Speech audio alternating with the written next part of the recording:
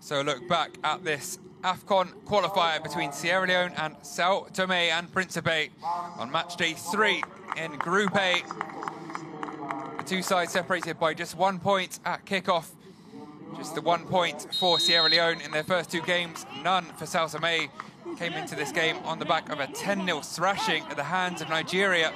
But they were the team on top for much of the first half and they found the opening goal through Leal, their all-time top scorer. Great work down the left. Combination of Neves and Viegas.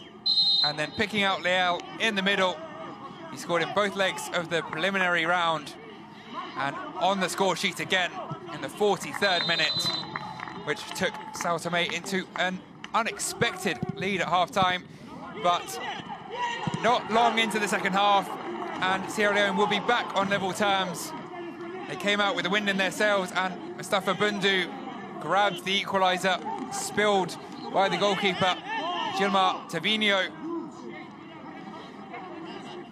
Kamara onto it, and Bundu firing into the net.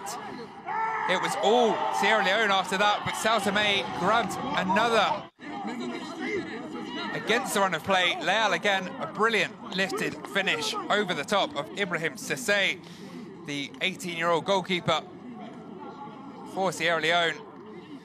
Just before that, Sierra Leone had hit the post, and they did eventually find their second.